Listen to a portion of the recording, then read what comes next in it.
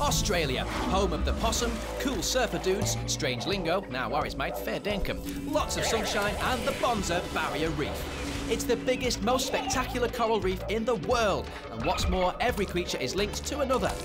Just imagine one huge family tree dating back 18 million years. From the minuscule to the mammoth to the miraculous, they're all connected in Barney's Barrier Reef.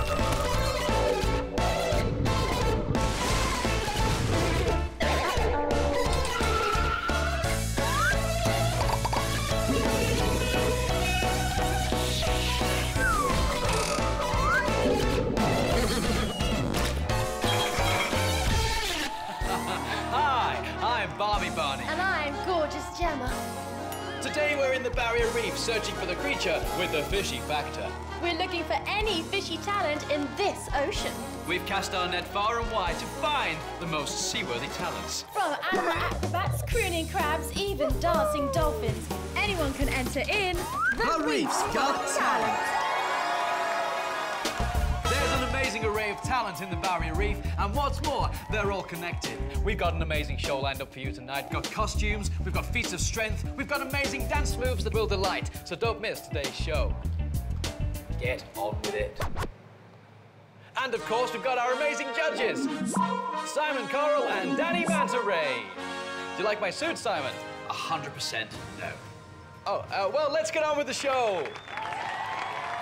So, without further ado, let's introduce our first act.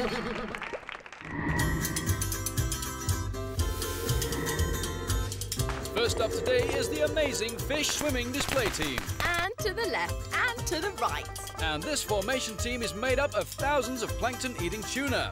And they are putting on an amazing display for us here with their lion dancing meets Red Arrow's air display routine. And their talents don't stop there.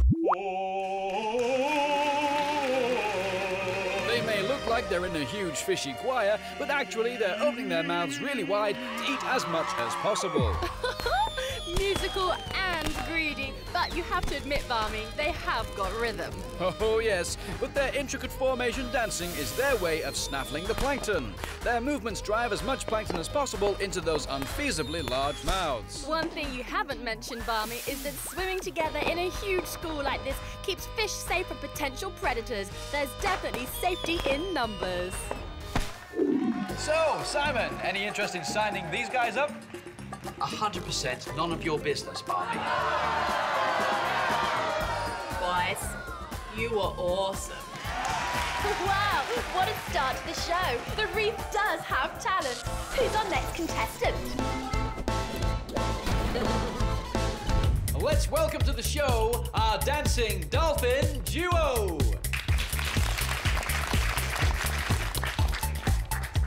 Well, they've started with a double synchronized jump. Amazing coordination there. Looks like they surprised our camera crew. They're never disappointing, these fellas. Look at that single, followed by double water leap. They're certainly as playful as ever. They can reach speeds of up to 25 miles an hour.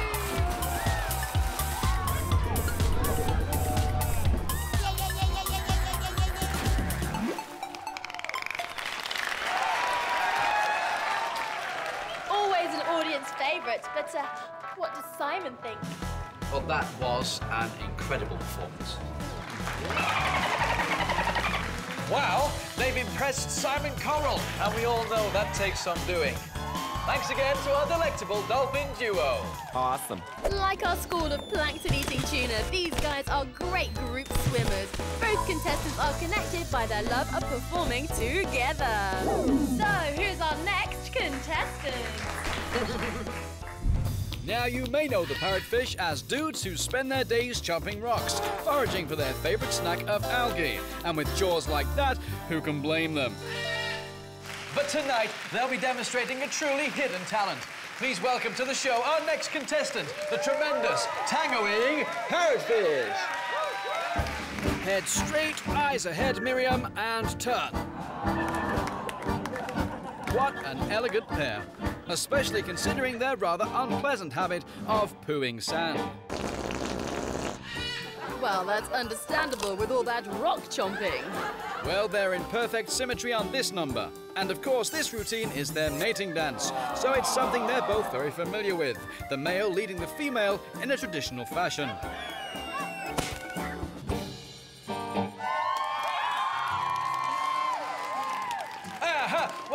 Thank you very much to our wonderful performing parrotfish. Let's go over to our judges to see what they made of their timely tango.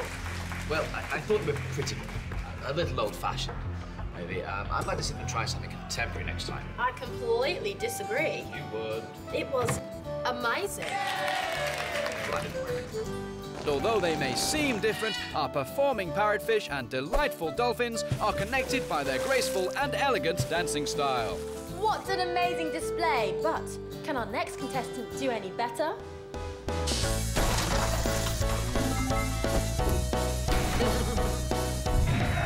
These amphibian-type fish come all the way from the mangroves. Their many talents include telescope-style eye accessories and an ability to fill their gill chambers with water, creating their very own oxygen tank. I wouldn't want to skip this act.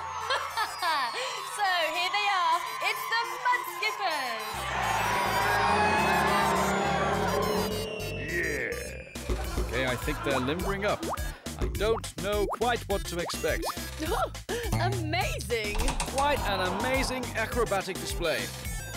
He's done a two-leaper, and a three, and a four. They're, of course, using their impressive front pectoral fins to catapult forward. I think it's a form of modern dance. It's very unusual.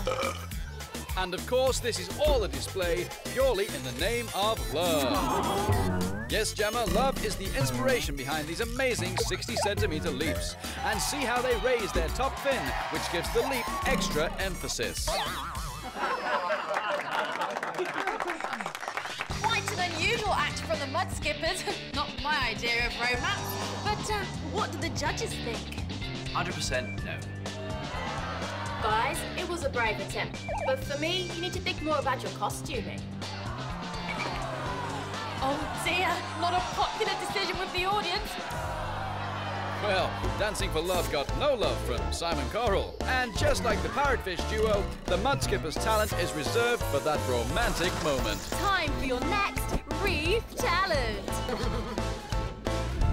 Well, they may be the smallest contestants, but they have a huge talent for camouflage. Barney? Yes, what is it, Gemma? We're on air. I know, but I can't see them. what do you mean? The next contestants. I can't see them. It's just coral. Oh, no, Gem, that's part of their act. They have the best disguise in town. Oh, I see. Uh, but that's not why they're here today. Ladies and gentlemen, boys and girls, please welcome the tiniest trapeze artists in the world, the Pygmy Seahorses.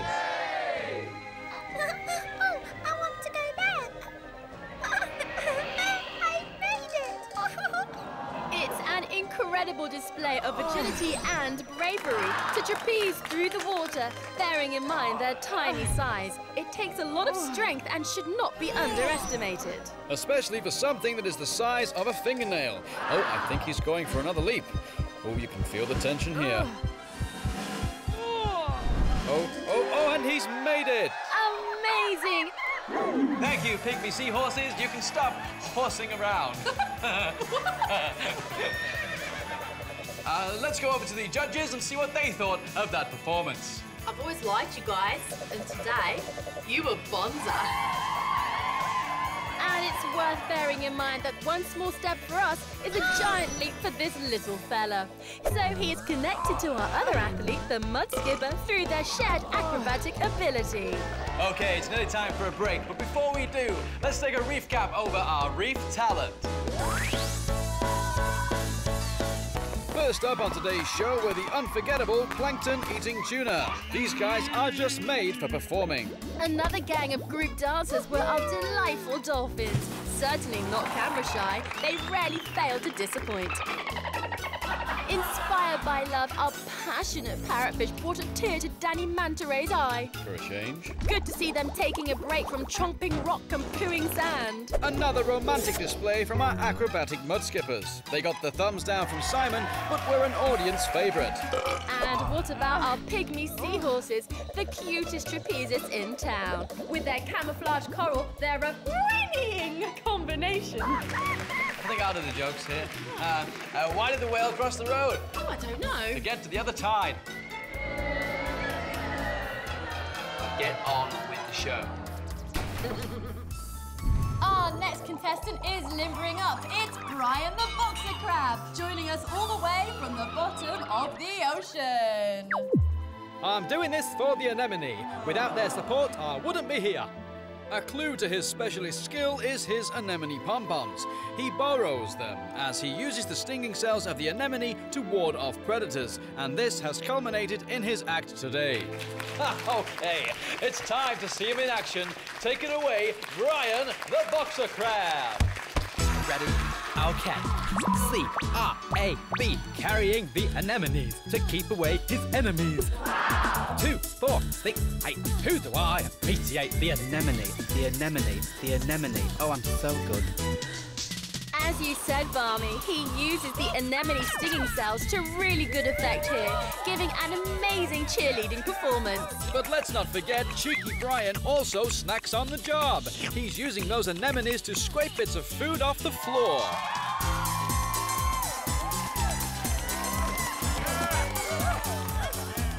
Adios. What a character. Let's see what our judges thought of his performance.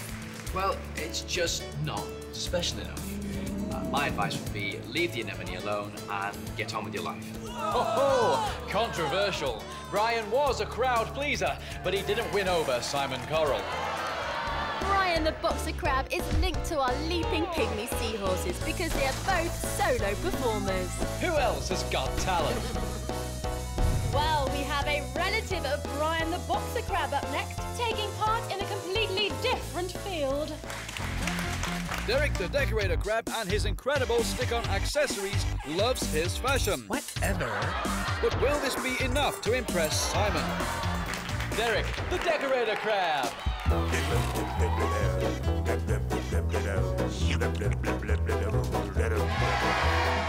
Itching to stick this bit of algae on. Oh, phew, it's on. How many accessories does one crab need? This act just seems to be about him dressing up. Oh, and he's going for the white fluff stick-on.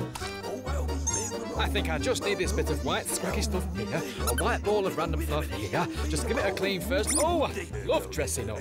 And of course, these cunning crabs are called decorator crabs because they spend most of their time decorating themselves in bits and pieces of the reef to disguise themselves. And like all our performers, this skill does help him survive in the potentially dangerous ocean world. So his love of accessories allows him to blend in and keeps him disguised from predators. So let's see what our judges made of Derek. You know I like you, Derek, but I'd have liked to seen something new from you. Whatever. Well, you know, I've got to say, Derek, that was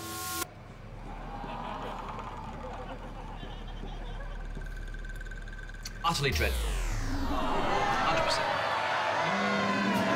Well, Danni likes Derek, but Simon doesn't seem so impressed. Yes, but look at his fashion sense. Uh, okay, it's, it's time for. No, no, Simon! Si- Simon, come back. You know you're my idol. Both the decorator crab and the boxer crab believe if you don't have it, borrow it. The boxer crab borrows anemones and the decorator crab borrows whatever he can lay his claws on. Who's up next? The colourful cuttlefish have some stunning routines. Oh, baby. But today, we're lucky to be joined by a rare species, the only known poisonous cuttlefish in the world. Let's all join together in welcoming our next reef talent, Cuthbert the Cuttlefish. Cuthbert is here tonight to demonstrate his awesome, some may say spooky ability to change colour. This is looking promising. Okay, he started with some yellow edging color. I think he might go for the full body transformation. Oh, look, he's added a rippling effect to the yellow trim. now that's amazing. And another complete outfit change. I think this is his best performance yet. Oh, yes, more. And his walking movement really helps demonstrate his flashing colours. Very impressive. Of course, this isn't just about looking flashy. He's perfected this skill to help him hide, hunt for prey, and ward off predators.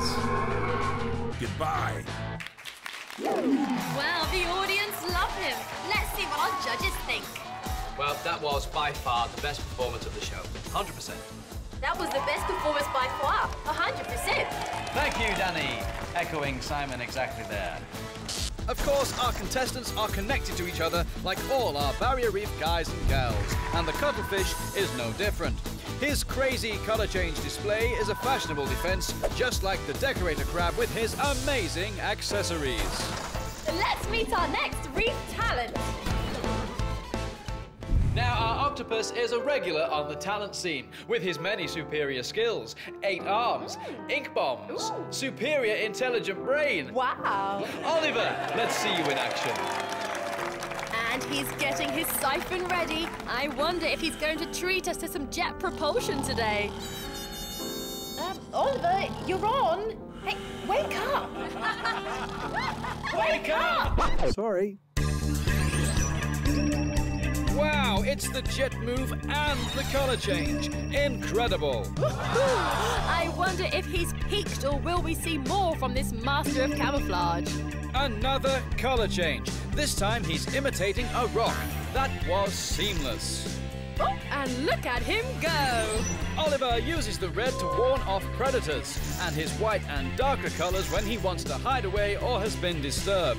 He's mimicking coral, and now algae. Indeed. And for his final trick, ah, maybe he's stretching out for a bit of yoga.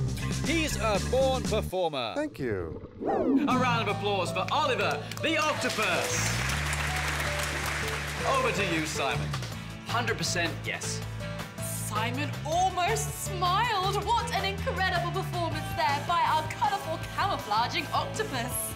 Just like Cuthbert the cuttlefish, he uses his color changing tricks to blend in anywhere. Let's take a look back over our talented reef contestants. He was doing it for the anemone, and ah, today he had cheerled his heart out an amazing display from Brian the boxer crab. Simon wasn't impressed with any of our crab acts tonight. Derek the decorator crab took the news hard. I've spent my whole life decorating myself. To be knocked back this way has hit me hard. Does my hair look okay? Derek, it was a good performance, but both crabs love to use props instead of their natural skill, so maybe that's what turned the judges against them. But Simon loved our colourful cuttlefish and actually smiled watching Oliver the octopus. Both creatures stunned us with their colour-changing performances. So, who else will impress our judges? It's time to find more talented creatures on the Reef's Got Talent. Ah, camera, I'm here. Hello, look at me. I'm ready for me close up. Oops, sorry. That's no problem. What's a camera between stars? And there's a few members of this family performing tonight, and all have those prominent sticky up ears that give them their name. Can you guess who the next reef talent is? I'll give you a clue. They'd better hurry up. Oh, hurry up! In that case, welcome the sea hares. G'day, mate. Hello. I can hear you. Oh, some sliding about happening here. Of course, the sea hare is a mollusk like snails and clams. But the sea hare hasn't got an outside shell to protect itself. Oh, what was that? Believe it or not, gorgeous Gemma, it was a poo cannon. He can fire his poo. Amazing. So, will the sea hare impress with his rather dirty habits? Anticipation is at an all-time high here on the Reef's Got Talent. What's happened? It seems that we've lost the contestant. He's disappeared in a puff of red smoke. Oh, what an illusionist! This is his rare red algae eating defense trick. If sea hares nosh on red algae, they can squirt out red and purple smoke and look like they've vanished as an act of self-defense from predators. Amazing. I'd even say hair raising. Listen, I told you I'll do the jokes. Uh, let's go over to our judges. Well, you shouldn't be in this show. I haven't finished. I haven't finished. You should win this show. The best performance of the night. 100%. Thank you for that, Simon. I'm sure the Sea Hare family will be delighted with that. Awesome. And of course, this remarkable, colourful display connects them to our colour-changing octopus, Oliver. So, can our next contestant compete? He's the length of a pencil, but has the best eyesight in the animal kingdom. I'm not ready yet. But he's refusing to perform until he's completed his spring cleaning. Like all shrimps, he's totally obsessed by tidying up. But it looks like he's gearing himself up. Rumors are we might get to see his right hook today.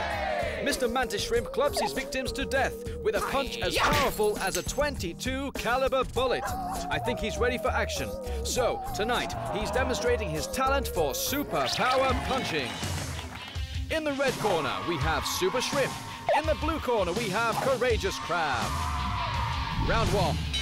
Shrimp gets in there, but Courageous is braver than he looks. Good left hook, Courageous. Round one to Courageous Crab. Round two. Ooh, Super Shrimp delivers a painful blow. Crab hanging on in there. What stamina this young fellow has. Oh, what's this? It's all over. Courageous Crab has had enough of this onslaught. Shrimp is left with the prize, the crab's right pincer. Wow, how did he do that? He's a shrimp. He has his very own extendable club on his arm. This weapon can shoot out and knock his victims out cold. An amazing from our mini mantis shrimp. Oh, Danni, are you okay? Um, it seems Danni's a little squeamish, so I'll, I'll deliver both verdicts. Um, very hard hitting, and uh, for once, I'll agree with Barmy. Very impressive for a shrimp. Talk about impressive firing techniques. We've had the sea hare who fires purple ink at enemies, and the superbly strong mantis shrimp who fires his own personal club. What a talent. Who's up next?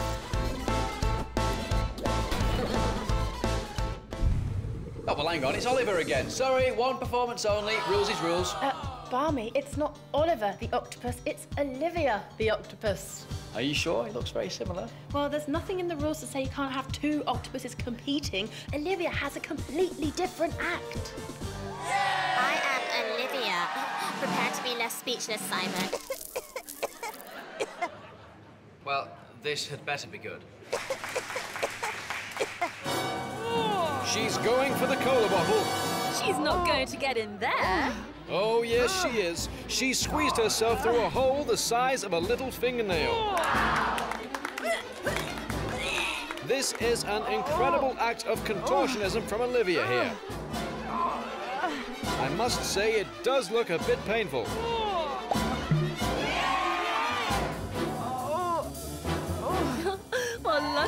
Octopuses are amazingly flexible. They're boneless, apart from their beak. Beak, is she a bird as well?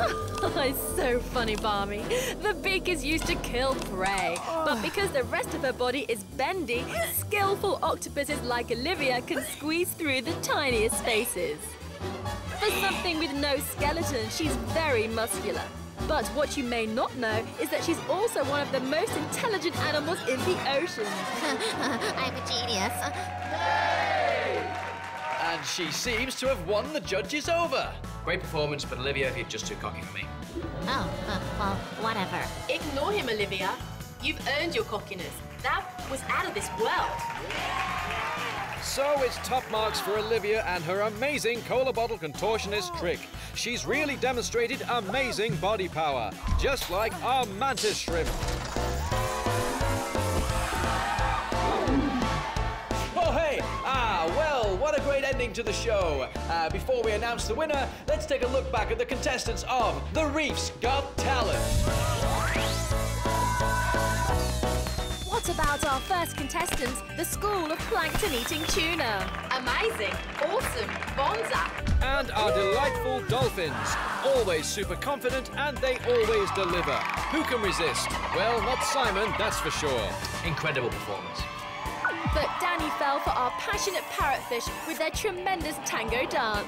So beautiful. Our muddy mudskipper also loves to dance for love, but Simon wanted to skip this performance. Dreadful. The pygmy seahorses leapt with true bravery. A short distance for mankind, but a long distance leap for these little fellas, and won Danni's heart. They were bonza. Another solo performer was Brian the Boxer Crab. Simon had a very strong opinion on our cheerleading crab contestant. Get a life. Cuthbert borrows reef props to perform just like Derek the decorator crab, who covers himself in reef accessories, but neither impressed our judges today. Nothing new. Sorry, guys. Next up, our camouflaging, colour-changing cuttlefish. What a creative spirit, but don't bite, as his trick will make you sick. Yes, our poisonous cuttlefish caused quite a stir, as did Oliver the octopus with his miraculous colour changes. 100% yes. I'd sign you on the spot. The sea hare, he cleared the studio with his red algae smoke bomb. One puff and he appeared to disappear. Incredible. Quite the magician. But for true power, our mantis shrimp was magnificent, even if Danni felt faint for all the wrong reasons. Haha, but she's okay now. And with a punch as fast as a speeding bullet, I'd say no crab is safe. Yes, we've kept Cuthbert and Derek well away from the mantis shrimp, just to be on the safe side. Olivia, another octopus, and what a contortionist, giving David Blaine a run for his money. This gal squeezed through a hole the size of a fingernail. Simon thought she was overconfident, This had better be good. but what a performance! Olivia, you really pushed through. I think we can certainly say from that display, the reef really has got an amazing array of talents. Wouldn't you agree, judges? Yes, for once I'm going to agree with you, Barney. Some class acts on today's show. Thanks to all our contestants. It's time to announce the winner.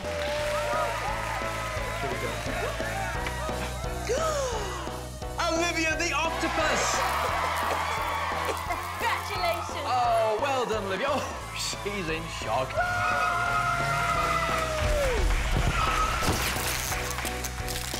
Well, it's been an amazing show, and to play us out, here are some of the judges' favourite contestants.